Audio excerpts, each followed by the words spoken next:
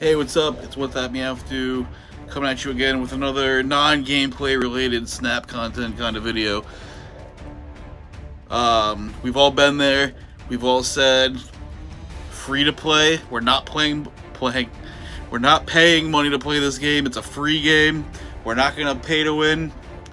But Marvel Snap out even if like the season passes weren't just worth it to me as someone who enjoys the game, they always find a way to put out some kind of bundle or or package deal or or exclusive something. Shout out to all my Binks fans who are the exclusive variant, unrelated.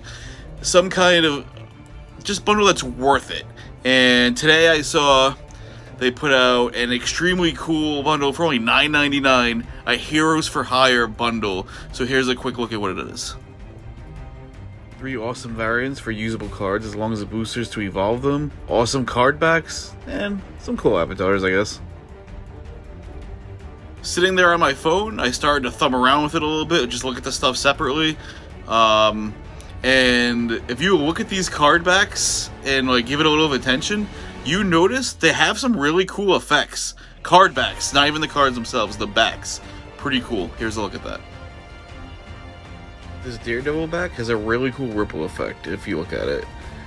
And the Punisher kind of shines a little, ripples a little, not as cool, but still cool.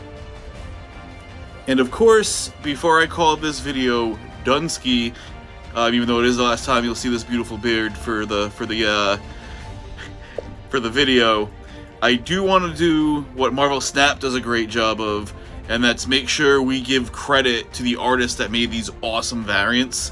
So shout out to these guys. I'm going to show you them one by one. And thank you for following if you follow. Thank you for watching if you watched. Thank you for bringing a little good to this world if you did. And as always, stay hydrated. And if you made it this far, I owe you a beer. Shout Shoutouts to Marco Checchetto. Hope I pronounced that right, but we all know I can't pronounce that well. Christopher Stevens, pretty confident in that one.